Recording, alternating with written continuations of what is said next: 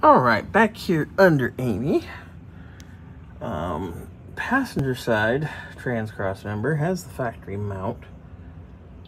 Um, the driver's side has some handmade, custom fabricated chingaderas and so does the actual cross member itself. Cause it's it's a mess. Somebody welded it, on that. Um, when I get it out, I'll be able to look at it further.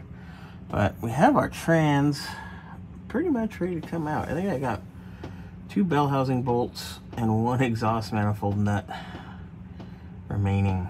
And then this some bitch comes out, which is good because uh, it's got to go to Mark.